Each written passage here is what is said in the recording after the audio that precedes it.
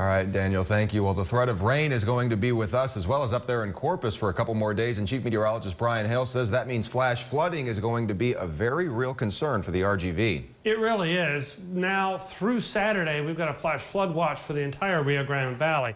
A sign of things to come? Yeah, lots of clouds out there around Edinburg. And, yeah, we've already had some rain. We'll have more before now or before Saturday rolls around. Now through Saturday, that is, for you, Edinburg, and everyone else in the Rio Grande Valley has this opportunity. So flash flooding concerns, number one on the list, a 50 to 70% chance for rain, again, now through Saturday morning or Saturday afternoon, really.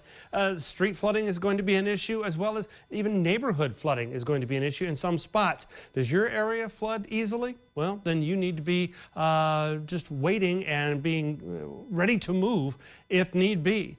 Uh, Valley-wide, yes. Heavy downpours possible, you bet. And again, every drop of rain is potential runoff because the ground is wet. Here you can see radar showing, yeah, we've had most of our lightning over the last half hour has been in Starr County, all this lifting north of La Grulla and Rio Grande City, and more that's been moving on through uh, Linn San Manuel north of Edinburg. All that's moving on off too, but there'll be more as we run on through the next several hours. Take a look at Futurecast short range version. 8 o'clock tonight on through midnight. There you go, another little batch. Some of that energy coming across Mexico on across the valley will kind of slosh to the east, and then that will make another broken line of rain and thunderstorm activity to push through the valley. That's 1 to 3 a.m. overnight, and then pushing on out. So, yeah, get ready. Again, you got to keep your senses about you because if your area floods easily and in the middle of the night, some of this water could start to rise.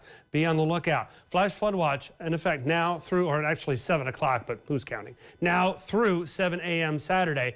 And again, we're looking at the possibility of rain and thunderstorms overnight tonight at 70%, 73 degrees, the overnight low. Your commute tomorrow morning, as you saw with the computer model, it looks like it's going to back off a little bit uh, for the morning, but still be prepared uh, to run into some wet roads for sure. Uh, 83 by noon and that chance for rain pegged at at least 60% throughout the day, and then 84 at 3 o'clock in the afternoon. Here's a look at Futurecast for tomorrow specifically, not the overnight, but tomorrow. We'll start out 6 a.m. See that little break there turns into a substantial chance for some showers and thunderstorms rolling on into 3 o'clock in the afternoon again, the common theme running through the forecast through Saturday, repeated bouts of rain with embedded thunderstorms, which may produce pockets of heavy rain and even the potential for an isolated severe thunderstorm. It's possible. Then we go to Saturday. Uh, Saturday on about 3 a.m. Friday night to Saturday morning, another band expected to come on down through the valley. So wowzers. Yeah, it could be uh, wet city for a lot of us moving on through. Now, slow your roll if you're going to be driving in the rain. Give yourself extra distance. Watch for water on the roads. Never drive through standing water. Mm -mm -mm. And check the tires. Make sure they're up to snuff.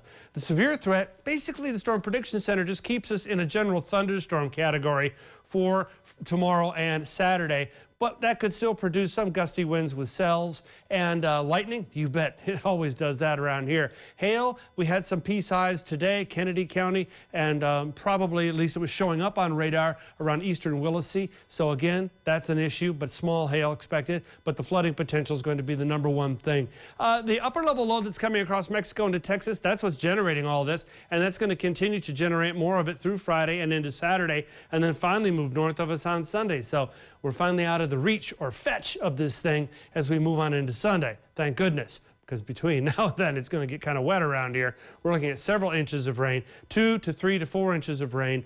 And again, already for the last 30 days, we've had a ton of rain around the valley. So you're either in the wet or you're in the wetter. That's the way it is around the valley. Ah, gee whiz, it was just a few weeks ago. It was drought city, not wet city around here.